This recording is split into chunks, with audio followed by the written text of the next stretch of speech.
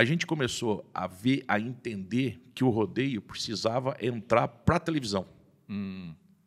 Ele tinha que ser um esporte igual futebol. Ele tinha que ter horário para começar e horário para acabar.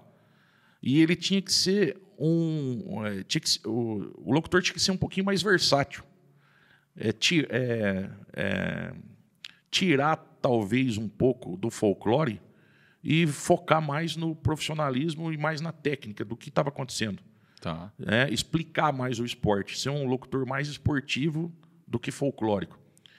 E eu vi que o rodeio precisava andar, ele precisava ganhar tempo, porque ninguém aguentava chegar lá, ligar um canal de televisão e ver 10 montarias em duas horas. 10 montarias tinha que passar em 12, 15 minutos na minha cabeça. E, e a gente tinha um gancho que os independentes, o Valdomiro Polizelli de Aguariúna, que fazia o rodeio Sim. na época, é, o Cowboy Forever, que era universitário, tinha essa mesma visão que eu tive.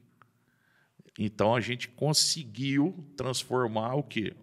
O Almir Cambra num locutor técnico Tá. num locutor versátil, num locutor rápido e num locutor que explicava tudo o que estava acontecendo ali na montaria em oito segundos.